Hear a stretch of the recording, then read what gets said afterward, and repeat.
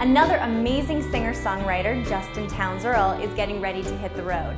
Concert TV's Jennifer Glass sat down with the son of Steve Earle to talk about his new CD, his live performances, and what it's like having a famous father. Take a look. So I am sitting here with Justin Townes Earle, who has a new record, a debut full length record, out on Bloodshot Records called The Good Life. Are you an old soul? I'm more uh, like turning into my grandfather more and more every day.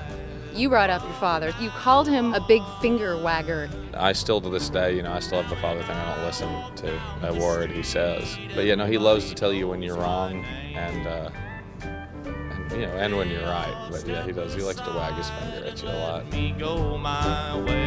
I'm not a music fan. I'm a singer-songwriter fan. I think that's where it's all based around. If you don't have the lyrics, you don't got the songs. Tell me what the good life is.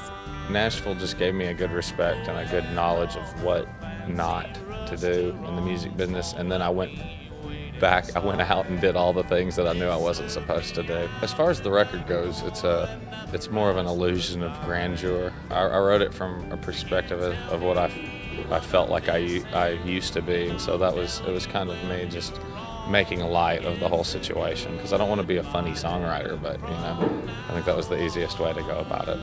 Justin Townes Earle. The record is The Good Life on Bloodshot Records.